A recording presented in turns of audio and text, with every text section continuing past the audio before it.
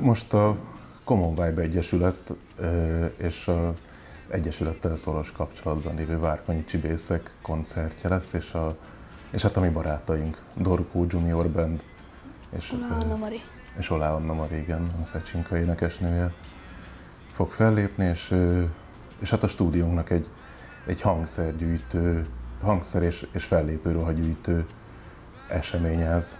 Az Egyesületünk az 2016-tól van, bár akkor még nem voltunk Egyesület, hanem csak közösen kitaláltuk azt, hogy, hogy, hogy kéne valami, valami jót csinálni, vagy valami értelmeset kezdeni az időnkkel, és azt találtuk ki, hogy, hogy, hogy zenélni szeretnénk. Egy helyet akartunk mindenképpen, ami egy stúdió, egy közösségi stúdió, ami, ami Ózdon és Ózd környékén, Borsodban egy kicsit be tudja indítani ezt a kulturális életet a zenén keresztül, de, de ez nagyon tágan értendő a zene, mert hogy, hogy foglalkozunk videóval, animációval, rajzal, és minden mással, meg mondjuk iskolai tanulmányok felzárkóztatása is egy fontos szempont. Úgy kerültem az együttesbe, hogy az iskolában felléptek, de akkor még nem várkoncsibészek voltak, hanem kukorica együttes, és ez nekem nagyon megtetszett, és az együttesből volt az Alex, aki egy gitáros a zenekarba, és az Alex mondta, hogy kéne még kettő gitáros, és akkor rám gondolt, és a másik Patrikra. És nagyon megtetszett, aztán jártunk fellépésekre, és így tovább.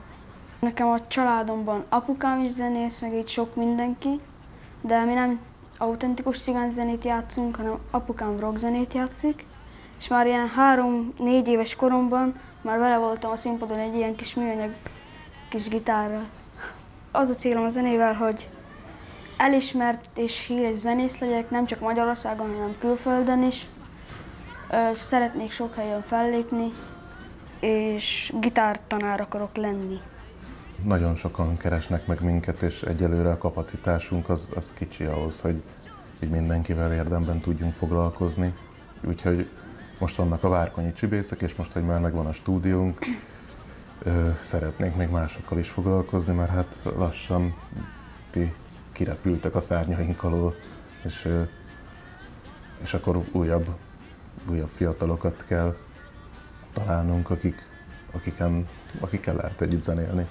Többféle elképzelés is van így az Egyesületünkön belül, hogy, hogy pontosan mivel és hogyan foglalkozzunk.